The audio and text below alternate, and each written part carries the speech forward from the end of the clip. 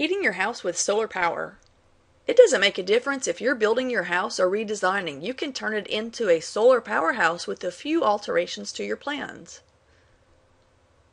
Solar power is the heat that comes through the sun. How do you get that sunlight to heat up a home?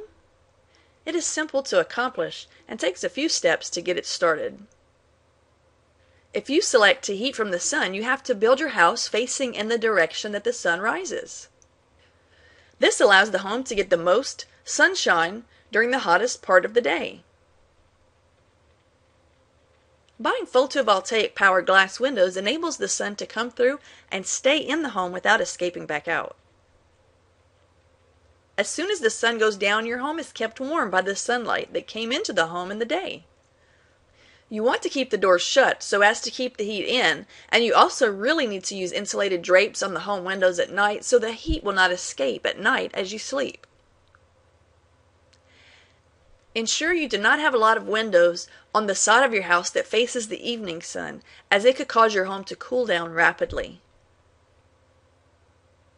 Redesigning your home to utilize the sun as a natural heating source is reasonably undemanding to do. Though you can't change the direction that your home is constructed in to face the morning sun, you are able to still catch the sunlight that shines through and decrease the amount of time you use another supply of heat. You may want to consider building a sunroom onto the face that catches the morning sun, permitting it to heat up naturally, and fit ceiling fans that will circulate the air into the areas of the residence.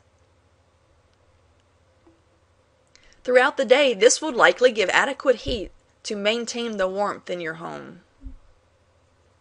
While redesigning your house, it might help to install solar energy windows that are especially designed to draw in the sunlight and permit it to come into your house, but not let it get away.